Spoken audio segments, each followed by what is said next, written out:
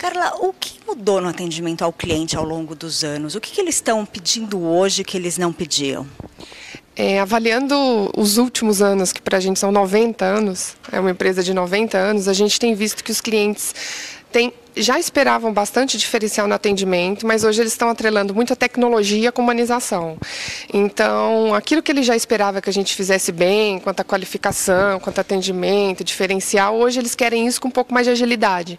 Então, se antes eles só pegavam o telefone e ligavam, hoje eles querem é, abrir o celular, dar um, um clique e já conseguir agendar o exame dele. Então, nos últimos anos a gente investiu muito em tecnologia, no que diz respeito ao, ao tipo de contato, ao tipo de serviço que o cliente pode ter com a gente, então a gente implantou aplicativo, nós somos os primeiros a colocar aplicativo, a gente colocou o chat, a gente tem atendimento por SMS e uma coisa que a gente sempre se preocupou é facilitar a vida dele. Então é um atendimento difícil, porque ele quer fazer um exame de um pedido médico que ele não consegue ler, então ele já tem essa dificuldade.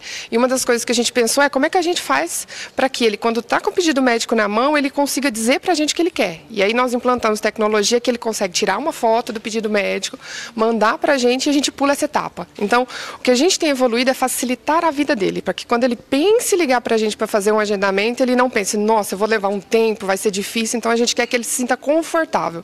Então, é isso que a gente tem evoluído. Hoje, a gente tem opções de canais totalmente ampla. Cada um tem o seu perfil. A gente tem um público mais idoso que ainda prefere o telefone, a gente tem um público mais inovador que prefere abrir pelo telefone. Então, o nosso objetivo é dar opções e facilidade para que ele, de fato, tenha um acesso fácil ao nosso produto. E vocês têm visto que os clientes acabam sendo multicanais? Quer dizer, o mesmo cliente usa diversos canais? Ou existe esse recorte por idade ou por localização? a gente percebe que os públicos são distintos. É, o telefone é mais voltado para quem tem mais dificuldade, público idoso.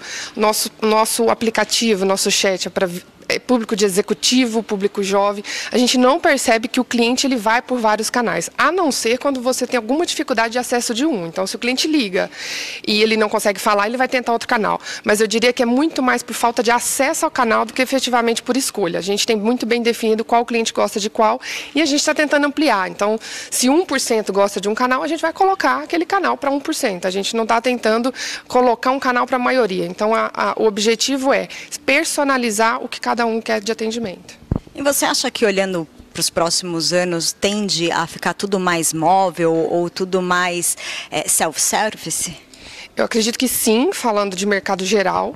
É, nós também temos esse objetivo de autoatendimento, de fazer com que o cliente tenha a opção de não precisar da, de uma pessoa do outro lado da linha, do outro lado do chat, para concluir o serviço dele.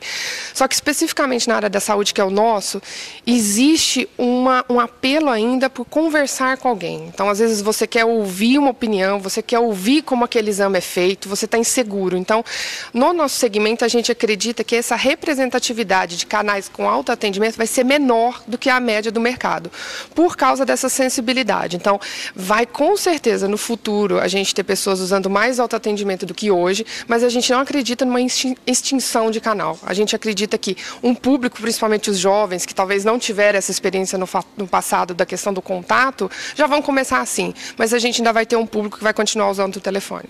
E como preparar o back-office para isso? Então, uma vez que a gente está falando de tecnologia, de automação, de autoatendimento, é, tem alguns processos que a gente ainda vai continuar fazendo por trás. A gente precisa garantir que esses processos acompanhem a velocidade. Então, não vai adiantar eu colocar um autoatendimento que talvez por uma regulamentação do serviço, como por exemplo, a gente tem hoje que fazer muita coisa com convênio. Então, o cliente ele nos liga, pede um serviço, mas antes de concluir eu tenho que acionar um convênio. Aí que entra o meu back-office. Não vai adiantar eu fazer um canal rápido com ele na ponta se para eu dar o retorno conclusivo do que ele me me pediu com convênio, eu vou demorar dias.